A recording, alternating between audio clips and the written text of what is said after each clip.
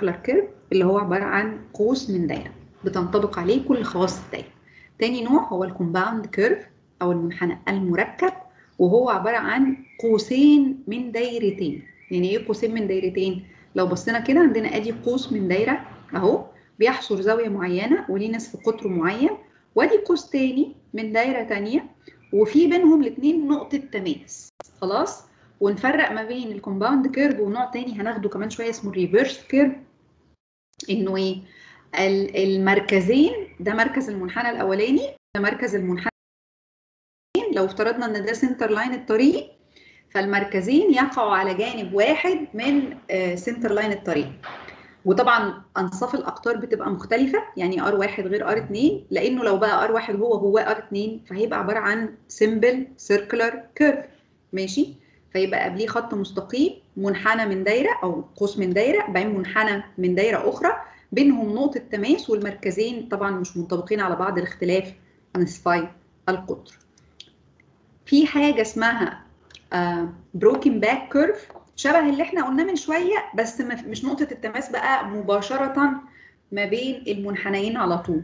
لا في جزء مستقيم في النص. يعني ادي قوس من دايرة وبعدين خط مستقيم straight road section وبعدين قوس من دايرة تانية. ممكن يكونوا الدايرتين بنفس القطر زي بعض وممكن يكونوا مختلفين. مفيش مشكلة في كده. بنسمي التركيبة دي على بعضها كده broken back curve وكل منحنى فيهم طبعا بنصممه وهنتعلم نعمل ده مع بعض. النوع الرابع آه هو ال reverse curve أو المنحنى العكسي. آه آه اتجاه التقوس بتاع المنحنى بيتغير. يعني إيه بيتغير؟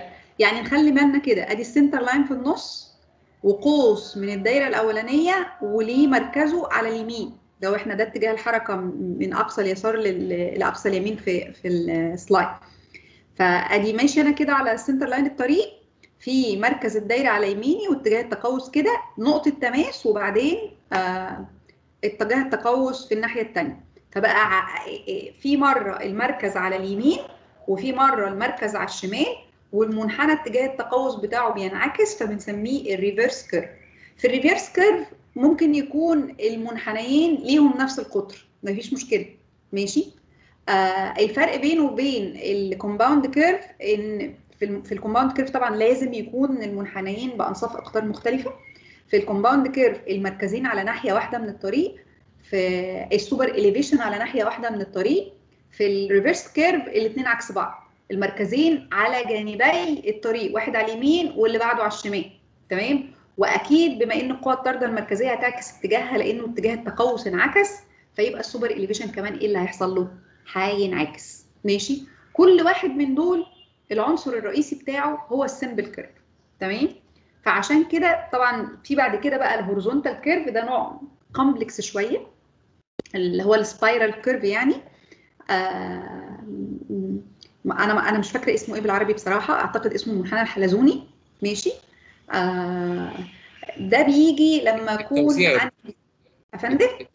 التوزيعي. أعتقد يعني. التوزيعي.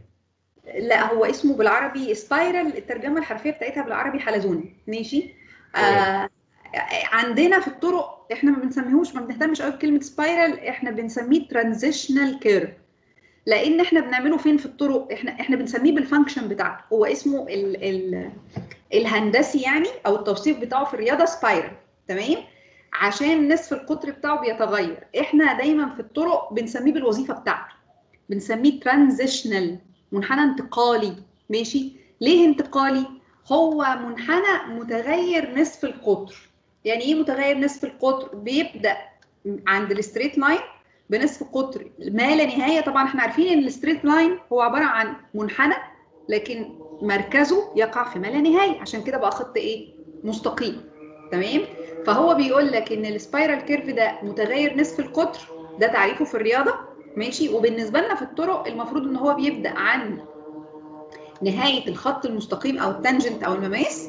وبيكون هنا نصف قطره بيساوي ما لا نهاية اللي هو بيساوي نصف قطر المماس ويبتدي الما لا نهاية ده يقل يقل يقل يقل لحد ما يوصل عند أول المنحنى بتاع الطريق ويبقى نصف قطره بيساوي نصف قطر المنحنى التصميمي اللي إحنا بنعمله تصميم على الطريق. وعشان كده اسمه transitional ليه اسمه transitional بما إنه متغير نصف القطر فبالتالي القوة الطاردة المركزية كمان بتتغير. حد فاكر القوة الطاردة المركزية كنا بنحسبها إزاي؟ كمان في الفيزياء. حد فاكر المعادلة بتاعتها؟